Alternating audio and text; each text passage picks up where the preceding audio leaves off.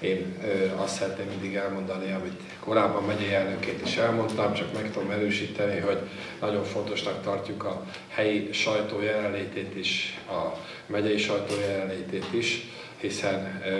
a mi közéleti munkásságunk így tud megjelenni, tehát külön köszöntöm Önöket, köszönöm Önöknek a munkájukat is, ha megengedik, hogy ilyet is tegyek, és számítunk mindenkire a jövőben is, és én azt hiszem, hogy nyilván ez egy szép alkalom, hogy az önkormányzatok önöket meghívják vendégül, és én azért is jöttem részt, mert valóban